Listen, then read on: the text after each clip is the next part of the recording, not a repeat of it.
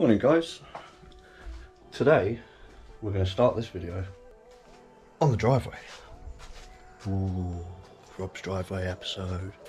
Um, we're starting on the driveway because I want to show you what I'm going to be trying to do today. So bear with. What we're going to be doing. That didn't work.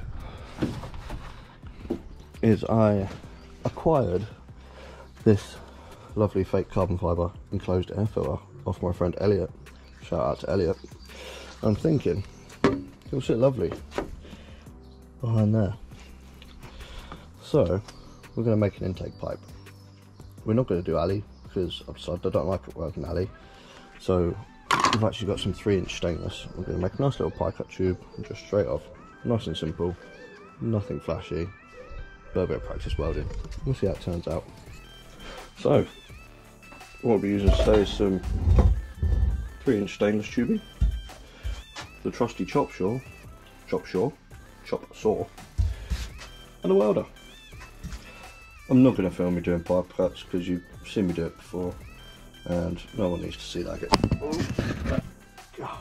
Oh well, would you look at that? Fresh pipe cuts. I think we'll uh, tack them together and stick them in the bay and see how it looks.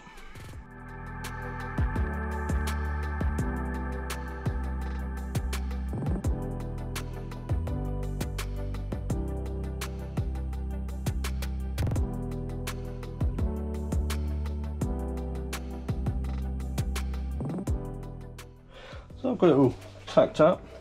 It looks good on the car. So I'm just gonna weld it all the way up, get it on the car and we'll see how it looks, shall we?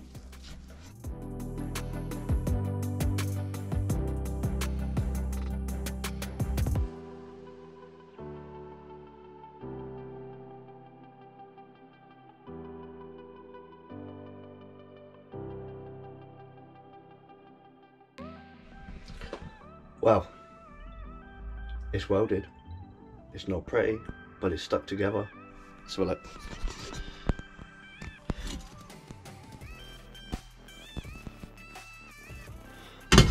So, let's have a look what it's going to look like on the car. Shall Bonnet.